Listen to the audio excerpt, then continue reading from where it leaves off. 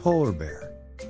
The polar bear is a hypercarnivorous bear whose native range lies largely within the Arctic Circle, encompassing the Arctic Ocean, its surrounding seas, and surrounding land masses.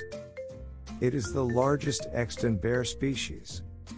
Polar bears tend to live solitary lives except when mating when a female raising her cubs forms a family group, or when many bears are attracted to a food source like a beached whale. Young polar bears spending the summer ashore on the Hudson Bay coast will frequently play with each other, most commonly with their siblings.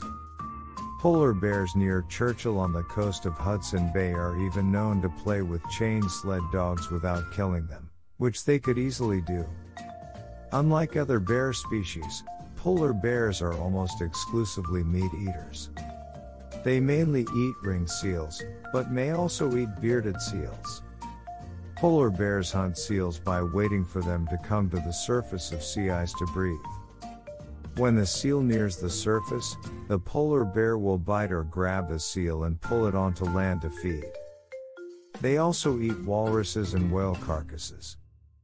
Polar bears will search out bird eggs and other food sources, but none of these are abundant enough to sustain the large body mass and dense populations of polar bears.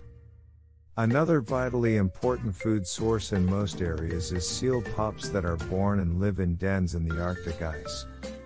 The polar bear identifies these dens by smell and other markers and pounces through the roof of the den to capture the young seals.